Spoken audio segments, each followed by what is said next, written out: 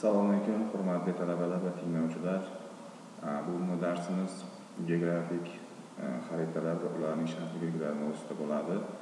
E, topografiya va kartografiya asoslari fanida o'n oltinchi mavzuga to'g'ri keladi bu.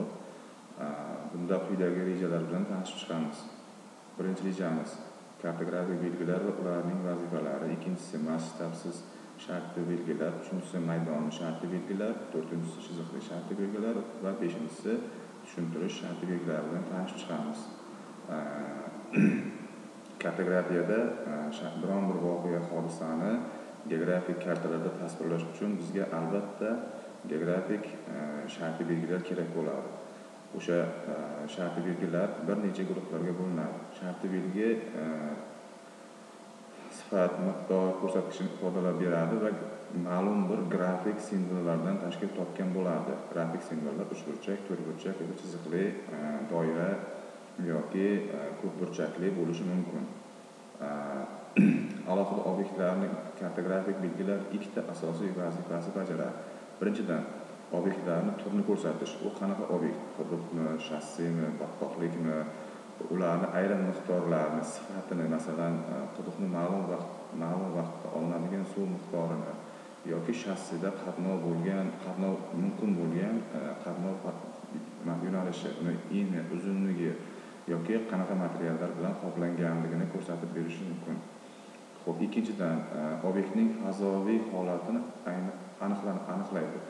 Ushbu obyektning planda o'lcham o'lchamlari va shakllari yoki ularning fazoviy modellari modellashtiradi fazoviy ma'lumot deganda nima har qanday voqea geografik voqea hodisani fazoviy ma'lumotdan uzoqlashmagan holatda tasvirlash kerak bo'ladi bunda fazoviy ma'lumotlar masalan suv obyekti geografik kadr tasvirlash uchun fazoviy ya'ni haqiqiy hayotdagi bor qiymatidan uzoqlashib ketmasligi kerak bo'ladi bunda o'sha suvning rangi ko'kmi geografik kartalarda ham ko'k rangda tasvirlanishi kerak. Bu haqiqiy e, hayotdagi e, ma'lumotlardan uzoqlashmagan holatda tasvirlab berishimiz to'g'ri keladi. Geografik belgilar qadimdan e, bo'lib kelgan. Masalan hozirgi ko'rib turgan rasmimizda bu yerda joyni perspektiv usulda tasvirlagan. Perspektiv usul nima? Bu yerda ma'lum bir grafik shakllar bo'lmagan geografik voqea hodisalarni yozuvlar yordamida tasvirlagan. O'sha bu e, geografik kartalarda ma'lumotlarni to'liq yoritib bera olmaganligi uchun hozirda ham e, hozirda zamonaviy e, shartli belgilarga ehtiyoj tug'ilgan. Bunday kartalarda asosan e, masshtabga bo'ysunmagan voqea hodisalar rasmga o'xshash holatda bo'ladi. Ko'rinib turibdiki bunda ham e, deyarli surat bilan rasm bilan bir xil geografik karta bo'lishi uchun albatta uning masshtabi e, sharti belgilar o'zini bajaradigan vazifasi va uni qiymatlari bo'lishi kerak bo'ladi. Ho'p endi e, o'n sakkizinchi asrdan keyin e, geografik shartli belgilar yuzaga kela boshladi. Bunda aniq o'lchashga talablar ortgandan keyin voqea hodisani aniq qiymatlarini tushuntirib berish tushuntirib berish kerak bo'ladi.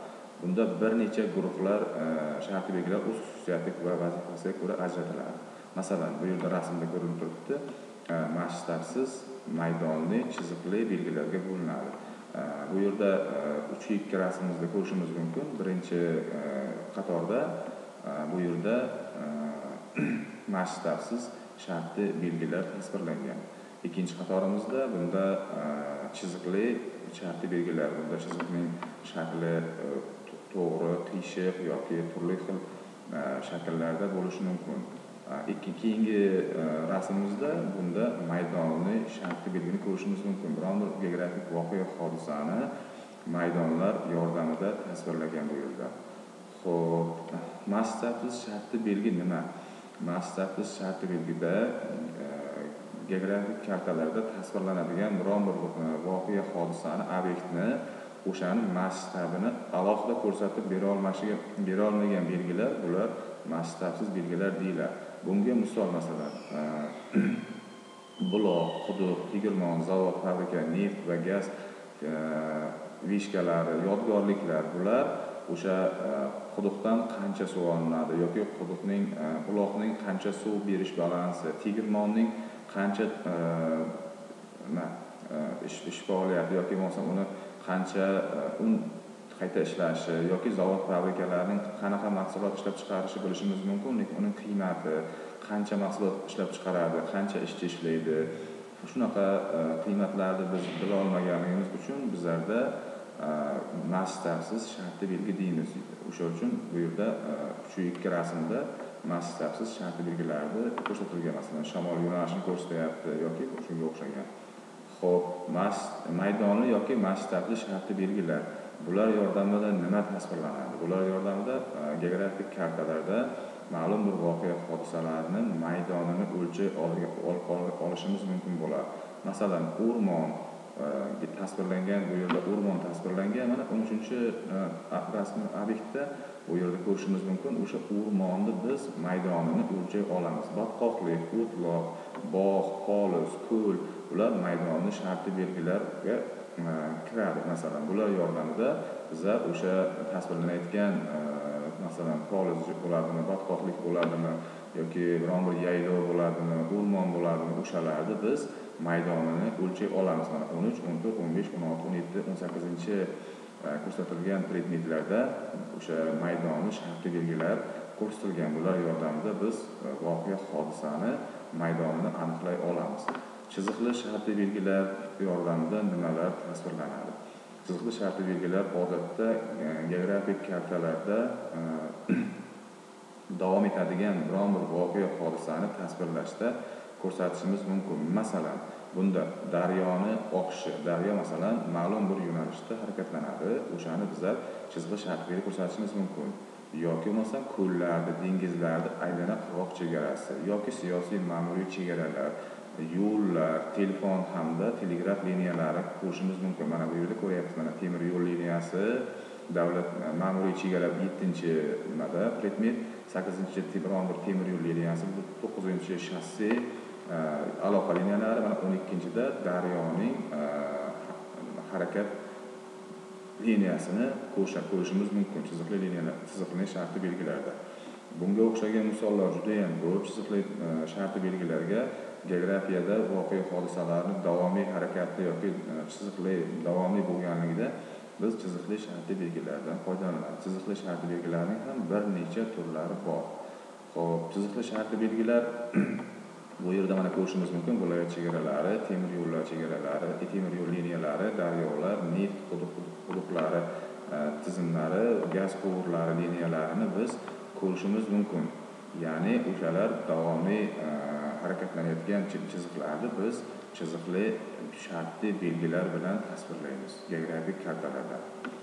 Ho'p e, kartografik belgilarni e, odatda e, bir necha guruhlarga bo'lishimiz mumkin.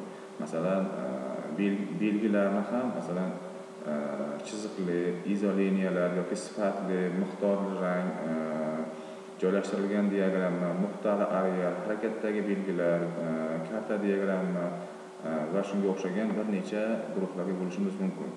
Endi sharti belgilarning ham shakli bo'yicha masalan ko'rishimiz mumkin. A E, qatorda shakli bo'yicha ajralishi masalan b qatorda e, shakli bir biridan to'rt burchak farq qilyapti yoki bo'lmasa e, orientirovkasi bo'yicha d d qatorda i qatorda rangi oz to'qligi bo'yicha ham voqea hodisalarni tasvirlashi bir biridan farq qiladi yoki ichki chizilgan chiziqlari bo'yicha. Masalan a qatorida uchburchak doira to'rt burchak joylashgan. Bular yordamida masalan gaz koni yoki bo'lmasam oltin koni volfram shunga o'xshagan e, konlarni shartli belgida tasvirlashimiz mumkin bo'ladi. E, B qatorda esa e, masalan o'sha voqea hodisani to'rt burchaklar kattalashib borgan sayin uning miqdori ortganini ko'rishimiz mumkin bo'ladi. D qatorda esa o'sha voqea hodisaning turli xil shaklda orientirovkasi qiyshiq yoki to'g'ri ko'ndalang turganligi bilan biz tasvirlashimiz kerak bo'ladi. E qatorda esa rangi och to'qligi masalan biz geografik kartalarda ko'p ko'rganmiz. Э, okeanlar э, sayozlikdan chuqurlikka tushganda yoki tog'lar pastlikdan baland ko'tarilib borgan sayin rangi to'qlashib borganini biz ko'rganmiz. Ichidagi chiziqlarning tuzilishiga ko'ra ham bular turli xil voqea hodisani tasvirlaydi. Masalan bu yerda chiziqlarning zichlashgani biron bir temir yo'l liniялarining tasvirlash mumkin. Yoki aksincha bu chiziqlarning e, siyraklashgani uning e, o'tkazish qobiliyatini kamroq yoki ko'proq tasvirlab berishi mumkin bo'ladi. Chiziqli belgilarning e, bir biridan farqi kengligi bo'yicha masalan a qatorimizda ko'rishimiz mumkin. Birinchisida kengligi kichikroq ikkinchisida kengligi o'rtacha va uchinchisida kengligi qalinroq. Bunda ham biron bir mana bu kichikroq yoki bo'lmasam qisqaroq ariqroq e, tasvirlangan aning birinchisida e, masalan tumanlar chegarasini o'tkazsa bo'ladi yoki o'rtada o'rtacha qalinlikdagi e, chiziqda esa viloyatlar chegarasini yoki bo'lmasam eng oxirida qalinroq chiziqda davlatlar ma'muriy chegarasini o'tkazsak bir biridan farq qiladi voqea hodisalar shakli bo'yicha masalan bda nuqtalarning e, nuqtali yoki bo'lmasam nuqtalarning zichlashgani va nuqtalarning ulangani bo'yicha ham biron bir voqea hodisani tasvirlasak bo'ladi. Bunda asosan topografik kartalarda e, gorizontallarni o'tkazishdagi misolni ko'rsatsak bo'ladi. Ho'p d e, qatorimizda esa rangi bo'yicha masalan bu yerda ko'ryapmiz ikki chiziq o'rtasi och rangda va o'rtasida chiziqchalari bor va qalinlashgan. Bunda transport vositalari qatnov yo'lini ko'rishimiz mumkin birinchisida eh, oddiy qishloq yo'llari eh, tuproq yo'llar ikkinchisi eh, mahalliy masalan toshlangan yo'llar uchinchisi qattiq qoplamali yo'llarni ko'rsatishi mumkin ho'p maydonli belgilarda ham bir biridan farqi bor ekan rangi och to'qligi strukturasi to'ldirilgan e, to'ldiriladigan belgi rangi bo'yicha e, shtrixovkalanishi bo'yicha orientarovkasi bo'yicha ham bo'linar ekan bu yerda a e, nimada ko'rishimiz mumkin? Rasmimizni a bo'limida bunda rangi och to'qligi ham ma'lum bir voqea hodisani tasvirlab berishda uning qiymatini ifodalab beradi. Strukturasi bo'yicha b uning masalan e, shakli bo'yicha o'rtadagi maydonni a rasm a bo'lim bilan b bo'limni qarasak o'rtadagi mana bu ajratilgan ma'lum bir areal bir biridan farq qilyapti atrofdagi muhitga qaraganda. Ho'p to'ldirilgan belgilarning rasmi bo'yicha mana d rasmimizda. Bu yerda ham ko'rishimiz mumkin.